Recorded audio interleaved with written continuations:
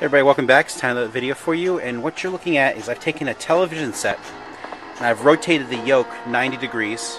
And I have a Genesis hooked up, but it's hooked up through the uh, composite, um, through an RF right now because this TV. Um, I don't have the remote to use the uh, composite inputs on the front. But you'll notice um, it was an experiment just to see what happens. You'll see here there is some distortion in the image.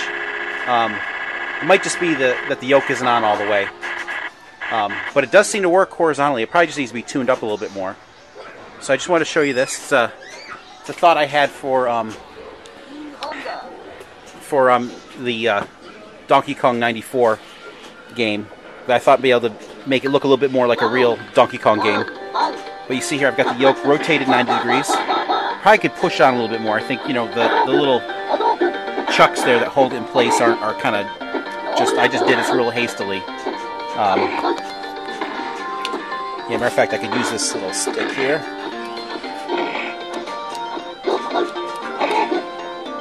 It's not gonna. It's not gonna really do anything. I can't push it because I've already tightened the yoke down.